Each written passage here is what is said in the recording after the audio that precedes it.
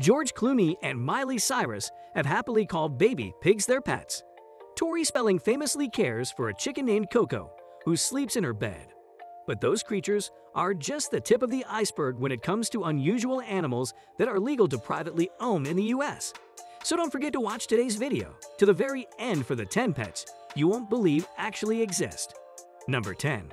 An Anteater Salvador Dali owned a pet anteater. And you can too. It's been 50 years since eccentric artist Salvador Dali was photographed in Paris walking his pet anteater. But this unusual animal is still beloved by plenty of modern-day exotic pet enthusiasts. Especially beloved is the 10-pound Tamandua, the diminutive cousin of the giant anteater, which makes for a cuddly, non-violent companion in many states. Tamanduas love to gobble up termites and, you guessed it, ants, though this doesn't make them an effective form of pest control, according to many experts. Ranging in cost between $3,500 and $8,000, a pet anteater is suitable only for those with a robust budget. Building an enclosure and providing long-term care will more than double your purchase amount. The price of this unique mammal and the fact that they aren't readily available deters most exotic pet enthusiasts. Remember that anteaters need very special requirements. It is said that due to their unique environment needs and insatiable appetites, anteaters fare much better in their natural habitat than in captivity. In the wild, anteaters can live up to 14 years. However, in captivity, they only live around 7 years. Number 9. A Monkey Owning a pet monkey is like raising a toddler for 40 years.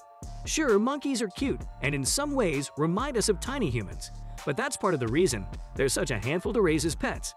Monkeys require constant care and attention, and many will live up to 40 years, according to the Primate Rescue Center. That means four decades of diapers, not to mention aggressive behaviors like biting and throwing feces.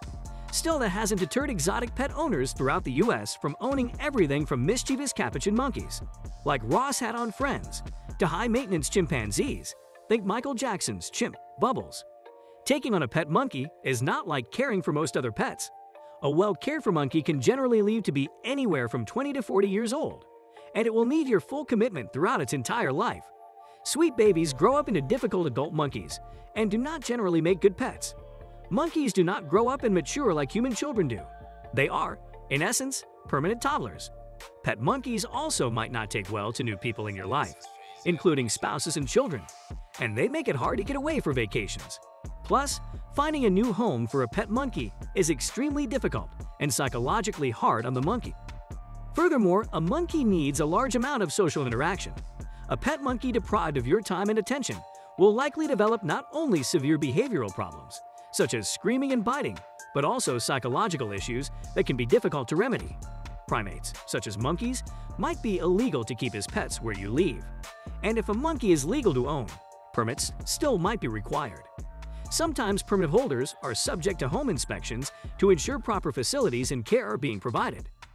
Moreover, homeowner policies might require additional liability coverage, or some insurance companies might cancel your policy altogether if they find out you have a monkey. However, not having insurance puts you at risk if your monkey bites someone. Number 8. Two-toed sloths Two-toed sloths are the darlings of the exotic pet world. Just ask Kristen Bell.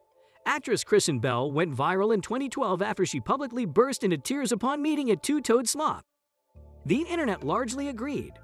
These tree-dwelling creatures are irresistible. But they're also high-maintenance creatures that are accustomed to wild, tropical habitats that can't always be duplicated by pet owners. Even though sloths are legal to own in several states, the Sloth Conservation Foundation warns not to mistake their slow-moving nature for comfort. Stillness is actually a defense mechanism they've developed to blend in when they feel threatened by predators. Number 7. A cougar. A pet cougar can be tamed, but it can never be domesticated. Wildcats are just that, wild. Yet a number of U.S. states allow you to keep them in captivity, according to Big Cat Rescue. A popular choice for exotic pet owners is the cougar, which is obviously also a risky one. Though a privately owned cougar will eventually grow accustomed to his owners, it can never be domesticated like a dog or a cat. The best you can hope for is a docile and sometimes playful pet that won't crush you to death with its powerful jaw. Uninvolved people like family, friends, and neighbors can be affected. One of the horror scenarios for many owners is that their pet attacks other people. Even if your cat is very tame wild instincts can still kick in at any time. Some people can't differentiate between the terms tamed and domesticated. The latter means that breeders selected the best characteristics to make the pets we know today. This process takes many generations and has definitely not taken place with cougars. Owners are aware of this problem, and some don't like the risk involved. This is why sometimes the inhuman cruel act of declawing is done. While you could think that only the sharp claws are removed, nothing is more wrong. Actually, it's the whole first part of the toes that is amputated. Balance and ability to climb and more are affected. Someone who thinks about doing such things to other living beings shouldn't own any pet at all. Number 6. A llama. If you're stressed out, consider a pet llama. The cool, low-key llama is often recruited as a therapy animal, which is why it makes such a great family pet in the states where it's legal. A pet llama is loyal, affectionate, clean, and generally low maintenance, as long as it has plenty of outdoor space, and preferably a furry cohort by its side, as llamas are herd animals, according to Good Housekeeping. Need another compelling reason to adopt a few of these cuties. It turns out llamas rival guard dogs in their ability to ward off predators, according to Mother Earth News. Number 5. Kangaroos.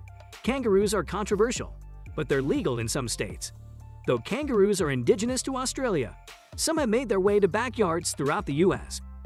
Many animal advocates, however, are fighting back against the laws that allow private citizens to keep them as pets, arguing that inhumane conditions have led to too many kangaroo deaths at the hands of unprepared caretakers. Wallabies, a smaller and more docile kind of kangaroo, are a bit more common in the exotic pet world.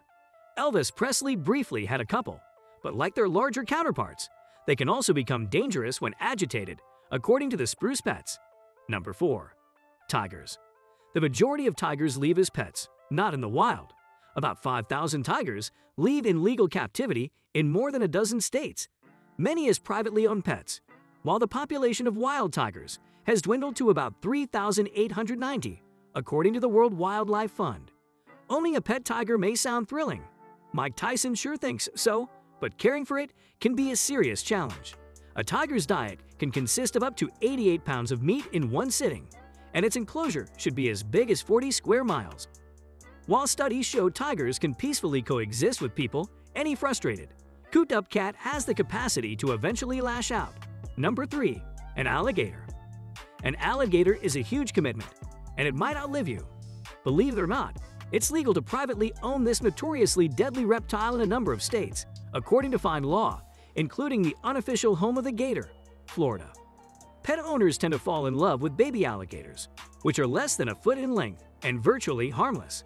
But adults can grow to be more than 11 feet long, weigh a whopping 1,000 pounds, and live up to 50 years, according to the Smithsonian's National Zoo and Conservation Biology Institute.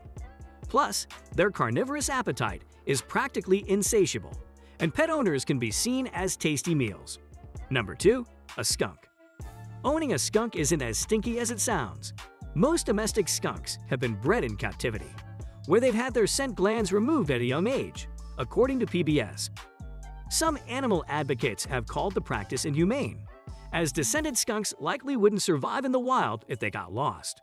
But those who call this surprisingly playful creature a pet in the 17 states where it's legal know that a very well-fed skunk that gets a lot of attention, affection, and discipline likely won't stray far from home. Number 1. A porcupine. A porcupine can be a pretty easygoing pet, but it can also be prickly.